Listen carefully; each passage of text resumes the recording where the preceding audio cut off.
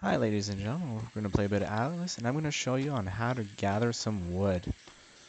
Alright, so I'm currently at 14 wood. Just to show you, this is one of the two trees that you can get some wood. It's quite simple, it's just small and you just start hitting it with your hands and gather wood. I know, it hurts. And you will get some thatches out of it as well. And you, there you go. So we get two wood. There we go. And we're at, at 16. And you do lose a bit of health.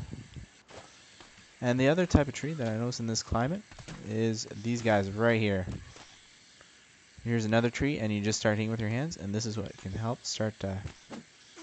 Oh, missing a punch. And we get, there we go. We got two wood. There we go. So we're up to 18. So there you go, guys. Into those two trees. It's really simple. You just start hitting those, and you get some wood.